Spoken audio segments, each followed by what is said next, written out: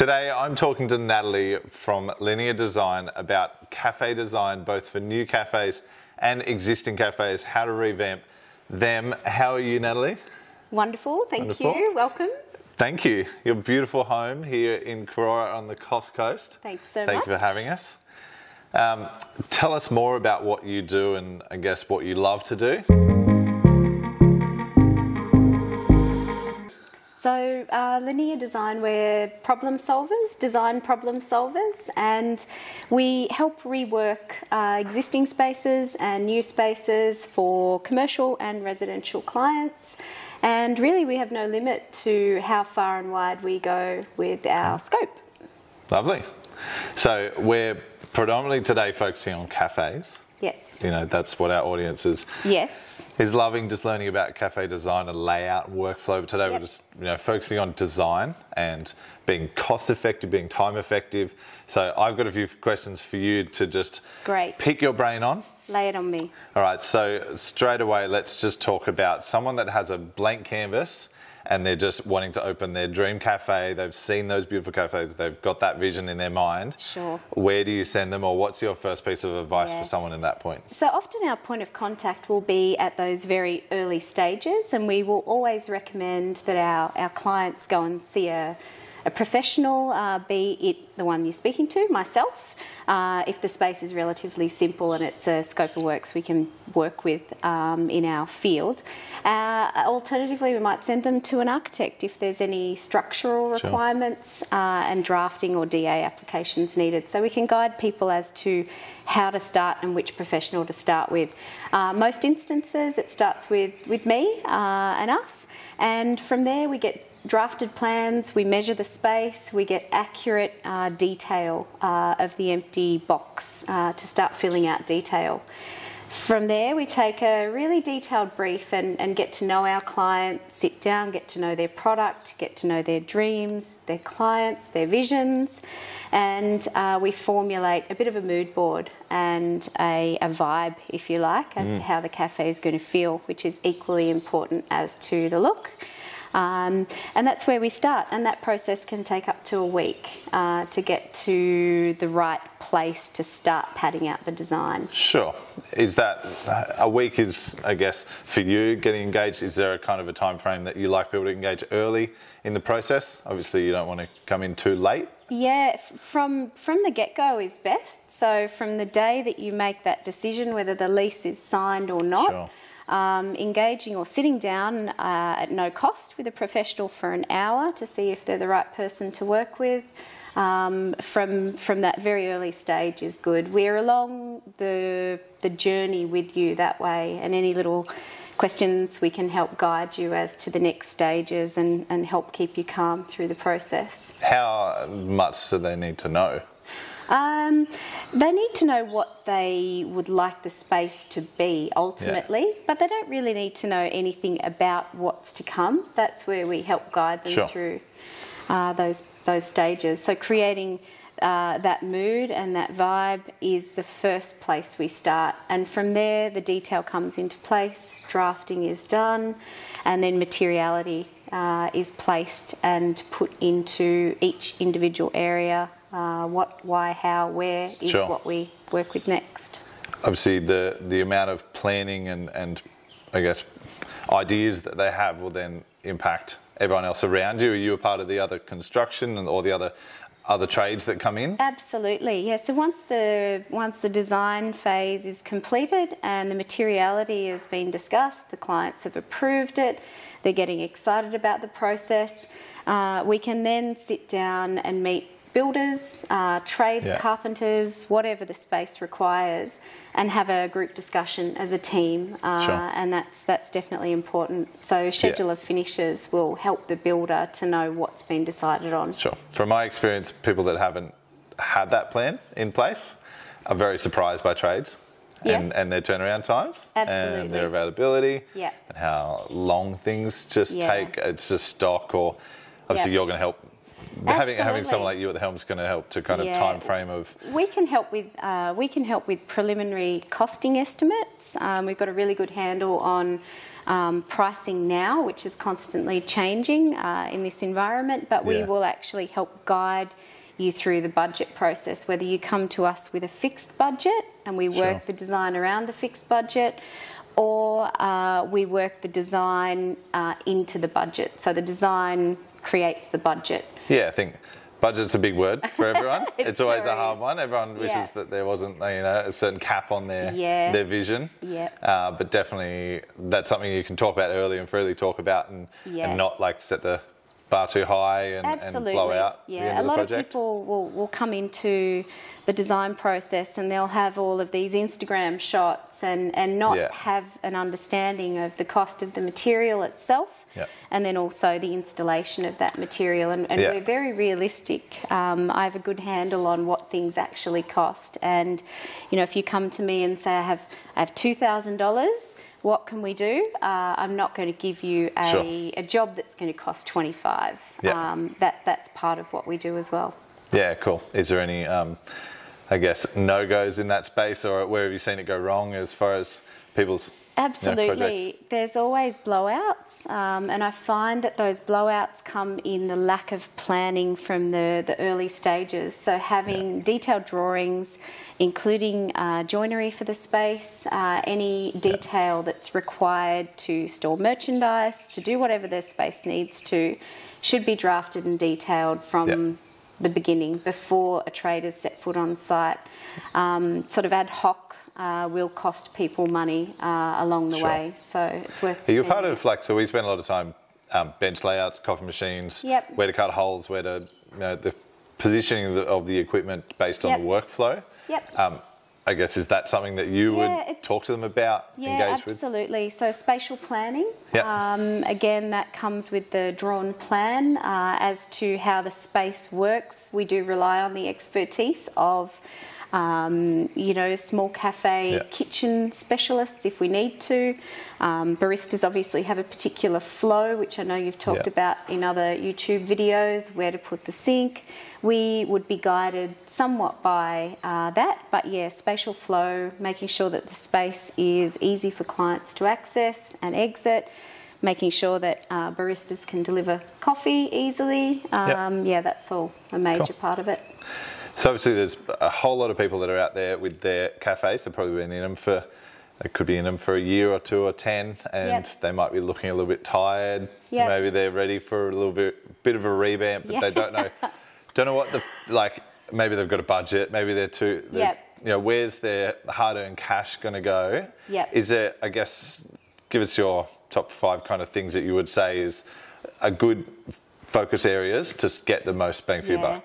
Yep. So a lot of most people these days have a budget. We all kind of have budgets, uh, and sitting down, engaging a, a designer on an hourly basis uh, that you can call on as you need them throughout the process is a good investment. Say that I am Sure. one. It's what I do, um, and that might cost you a small portion of what you've got to spend, and that will then be guiding um, the paint colour. Paint's a huge one. It's really accessible. You can do it yourself. Um, there's lots of options in terms of no VOC, which is no chemical compounds, so there's no paint smells. Yeah, okay. Um, if you need a really quick turnaround overnight, so repainting, uh, cleaning is a big one. Adding a beautiful pendant light that hasn't been in the space before, um, refurbishing furniture, adding new stools. There's lots of things that can be done that are simple and easy, quick and effective, and cost cost effective that you can do. Sure. Um, is there is there things that you see people doing themselves or getting handy, like painting, getting their hands dirty? Um, is it really just Absolutely. do you So- work work Yeah. hands on with them? I mean, they're going to be a part of the trades, I guess, to, Yeah. to make the most of their time. I think there's some things that people can do easily uh, and things that people shouldn't do. Sure. Definitely electrical's one of Yep. So another thing you can do that, that will allow a really fast, cost-effective uh, refurb is zip to Bunnings, buy some beautiful greenery, Sure. um, hanging plants, large established plants. They are affordable, sensible. You can do them immediately, and they freshen up a space. They make people feel that the space is clean, new, tidy, uh, and that's a really easy thing to do that you can do yourself Yeah, great. um, highlighting any corners that are a little bit dark and dank. Uh, you can add some uh, new lighting, feature lighting, Yeah. hand make a pendant light if you're crafty, Yeah. uh, or zip in and, and buy something. And if there's no wiring in a position that needs lighting, um, I love nothing more than exposing a conduit and allowing the space to be honest and, Sure. and natural. So that's a, a good tip. Yeah, great. I also think it's it's really lovely at the end of this process, which can be quite stressful for uh, cafe owners, staff alike, anyone that's chipping in a hand, to um, show your appreciation, have a little do, announce the revamp, Yeah. uh, and have a little staff party before you open Sure. the doors the next day. Um, that's a, a beautiful thing to do. It adds good vibe into the space, and uh, you're off. Yeah, it's cool. I like that. Cool. That's good. So I guess from a from a modern cafe point of view, obviously people have got the Instagram photos they're bringing in.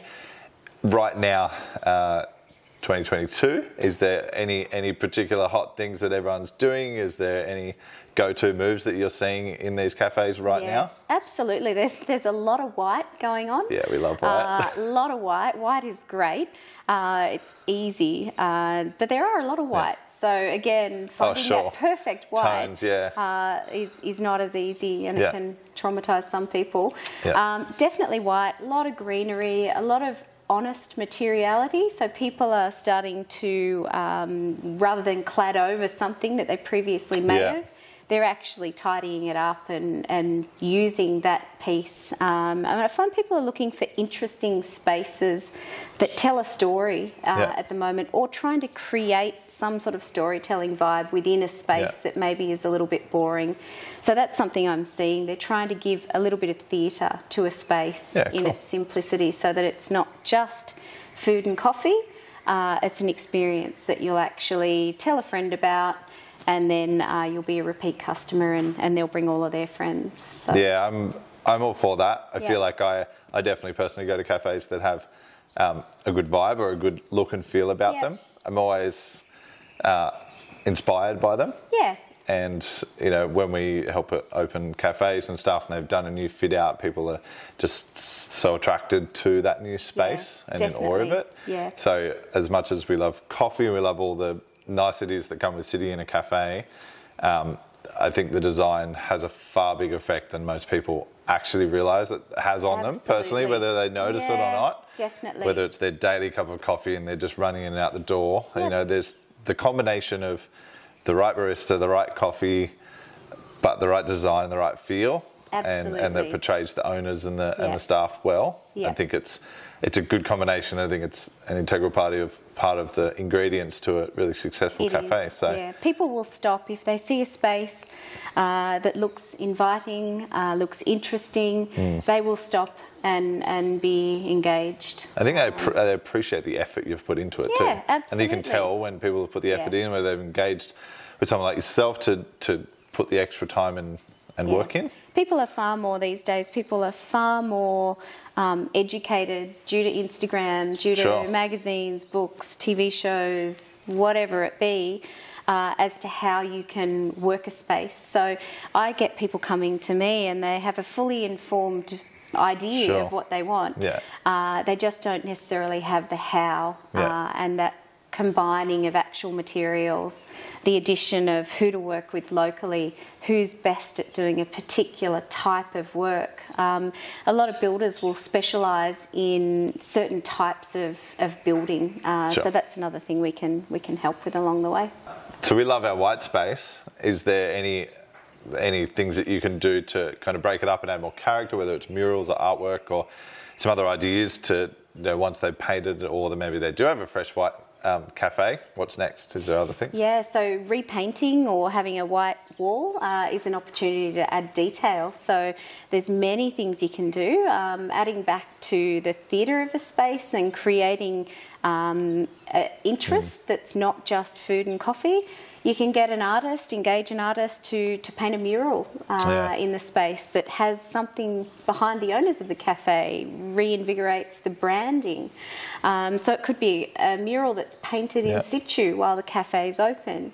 It could be a mural that's painted and then printed onto um, commercial vinyl wallpaper if it's a very busy area.